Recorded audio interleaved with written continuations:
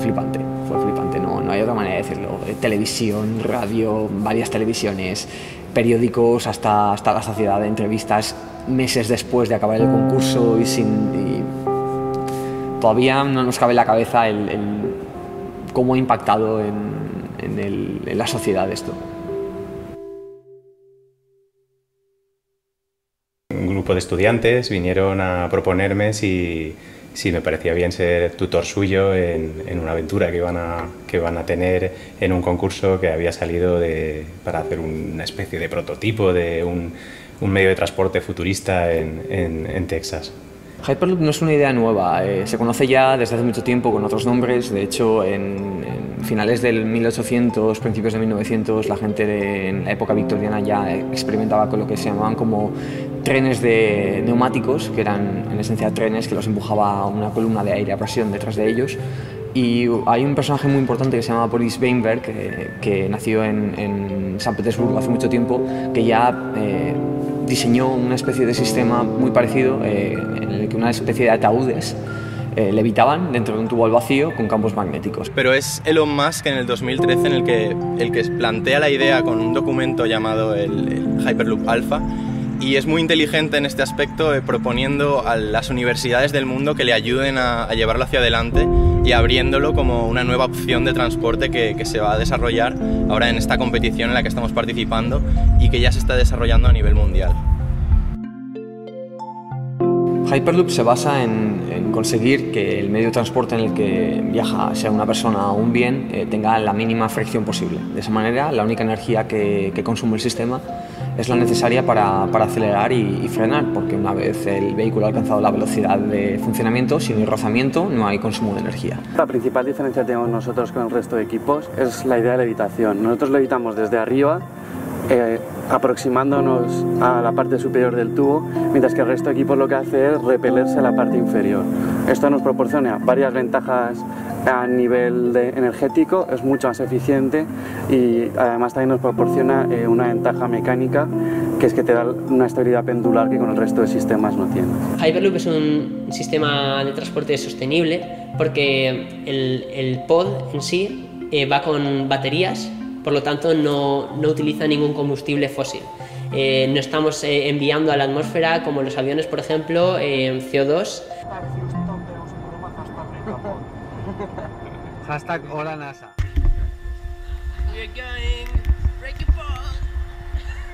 Nosotros nos, nos presentamos al diseño de concepto y a una subcategoría de propulsión y ganamos estas dos categorías, la principal y la subcategoría. El hecho de no ser un equipo estadounidense, pues eso eh, tenía bastantes dificultades desde el punto de vista burocrático y de conseguir permisos, licencias de software. Y en principio pensamos en hacer una presentación vía Skype o en alguna videoconferencia.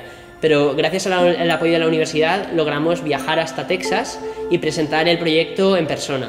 Al final nos pudimos sobreponer y a pesar de disponer solamente de software durante un mes, eh, conseguimos eh, llevarnos los dos premios y la verdad que no estamos mal. Para nosotros fue una locura. De hecho, algunos miembros del equipo cuando anunciaron los ganadores estaban preparando el viaje a la estación de la NASA para el día siguiente y cuando escuchamos nuestra voz por, por los altavoces corrimos unos a otros a reunirnos y empezamos a gritar. Cinco personas gritaban más que algunos equipos de 100 que estaban compitiendo con nosotros. Nosotros empezamos siendo un equipo de cinco personas, de cinco amigos. Hemos ampliado hasta un equipo de 30 en el que también somos un equipo de amigos, un equipo de gente que trabaja juntos, que colabora, que pasa todo el tiempo posible juntos. Incluso después de trabajar muchas veces vamos y cenamos juntos, tomamos algo juntos. Eh, trabajas con gente excelente, impresionante y personas geniales y que van a ser tus amigos y tus compañeros para toda la vida ya.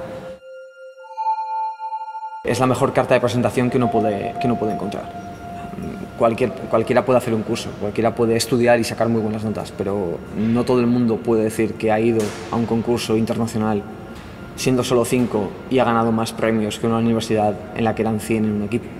Lo que nos hemos dado cuenta es que a nivel teórico estamos muy bien preparados y se ha demostrado llevándonos estos dos premios hacia, hacia Valencia, pero hace falta impulsar eh, esa parte práctica de, en, estas universidades. Se está buscando un marco normativo nuevo que regule todo esto, en el cual pues, se puedan dar facilidades a, ese, a esos estudiantes para dotarlos de recursos, dotarlos de espacios. Creo que ahora mismo lo que tenemos que un poco es salir de ese asombro ¿no? de, de descubrir lo que es Hyperloop, un poco a ponerse manos a la obra ¿no? y hacerlo realidad. El Hyperloop, así se llama el invento, podría lanzar, por ejemplo, Madrid-París en 75 minutos. Actualmente lo que necesitamos son empresas que se atrevan a dar ese paso y, confiar en una propuesta española que pueda cambiar eh, el mundo del transporte. Eh, es verdad que no somos una aplicación de móvil, no somos una página web, es algo más grande que requiere de tiempo, de inversión y de mucha gente trabajando para conseguirlo. La verdad es que no nos gustaría que esto se quedara en, un simple concurso y nos gustaría pues, desarrollar la tecnología y que esto se convirtiera en una realidad. Creemos que en Europa hay potencial de sobra, simplemente tenemos que empezar a pensar todos en la misma dirección. Tecnologías que de verdad sean útiles para el Hyperloop final y que creemos que es la forma de, enfocar eh, este concurso. No simplemente una competición universitaria, es el desarrollo de algo más grande que va a cambiar el mundo.